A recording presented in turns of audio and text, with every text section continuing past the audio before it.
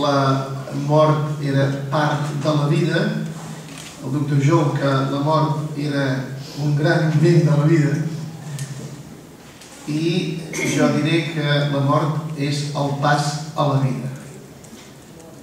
I aleshores, evidentment, que aquí la paraula mort està plegada en sentit recte, en sentit directe, però vida està plegada en sentit translatíssim, perquè després de l'exposició d'aquesta mort gairebé eh, indiscutible i irrefrenable a la qual ens trobem, dir que la, mort és un pas a la, a la vida, sembla un brindis al sol, però resulta que davant d'això em veig encara més força de dir que cal un pas a la vida. Però no, evidentment que això és una posició entre les moltes, les moltes possibles. En, en distingeixo sis. La primera posició és la mort com a fatalitat. No cal que la, que la comenti perquè em sembla que estarem tots d'acord que molta gent davant de la mort se sent, fa servir això havia de ser el fàtum, el fàtum grec que continua, vaja, l'ananque grec i el fàtum llatí que continuen tenint la seva presència en l'imaginari cultural manera tremenda. O sigui, la mort com a fatalitat. La segona, la mort com a càstig. Encara que estiguem en una societat no estrictament religiosa, sinó molt plural, hi ha molta gent que davant de la mort fa servir la paraula càstig Sobretot quan hi ha, per exemple, un, un accident per entre, per entre mig. Què he fet jo que se m'hagi de així? Però qui t'ha castigat així? No sap ben bé. Però hi ha una manera de plantejar la mort com a càstig. En tercer lloc, la mort com a alliberament. Hi ha qui diu la, la mort és, diu, sort que ha mort, perquè ja feia massa estona que patia, ja feia massa estona que no hi havia res a fer, la mort ha estat un alliberament i, i doncs mira, sort que, que, s'ha acabat tot. Ara no jutjo res més, només dic aquesta frase, la, la trec del, del que es diu. Quart punt, la mort com a accident inevitable seria la posició, una certa posició estoica, si es vol, no? Dir, bé, nosaltres som aquí, som una colla de... És, la vida és una, un seguit d'incidents i accidents i en sec n'arriba un, eh, que és aquest accident final, que és inevitable i per tant ens hem de bé resignar, hem d'acceptar que això sigui així, no ens fem massa més preguntes les estrictament necessàries. Cinquena, la mort com un pas provisional. Bé, és la, és la reencarnació. No? Per tant, sí, ara ens hem de, de morir, però tenim una, quanta, una vida més o unes quantes vides més, en, en principi.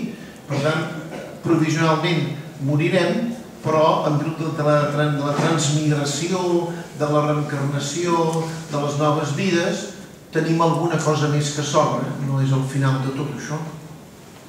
I el sisè punt jo en voldria fer 7 perquè sempre m'agrada més el número 7 que el 6, però me n'han sortit 6 només, que és el pas definitiu.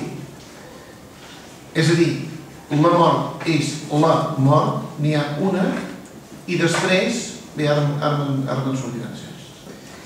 Eh, perquè hi ha dos passos, dos, passos dos passos definitius possibles.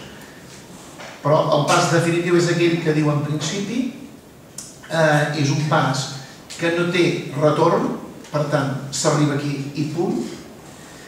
Per tant, el pas definitiu irreversible, número, número 6, i el pas definitiu que s'autotranscendeix.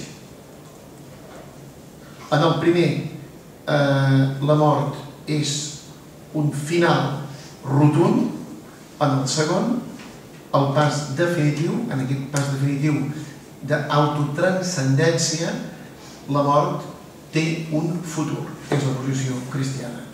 Per tant, set. Pas definitiu irreversible i pas definitiu auto, autotranscendent. Dit això, només perquè ens entenguem una mica amb les set possibles lectures de la mort, que potser n'hi haurà més, eh? però de moment en, en, proposo, en proposo set. Després, dir que, que sí que hi ha dues maneres d'enfocar-la, la mort. Des de la persona que la viu i des de les persones que la diuen, que no són les que es moren, sinó que són allà. La, tinc la impressió que no és, el, no és el mateix i que aquí hi ha un dels drames i de les grans qüestions. O sigui, eh, sovint la manera com la persona que mor viu la seva mort és no exactament la mateixa que la manera com viuen aquesta mort els que acompanyen la mort. No entro ara en cap cas, eh? però eh, això té, molta, té moltes derivacions perquè farem servir, evidentment, eh, paraules com ara eh, responsabilitat, decisió, llibertat, opció i paraules funcionen en els dos àmbits.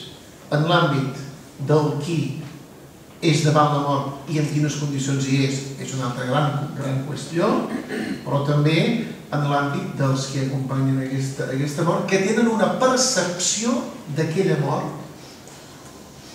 I aquí hi ha un gran tema. Quina percepció tenen de la mort aquells que no estan morint en primera persona la viuen en segona o en tercera persona. En part.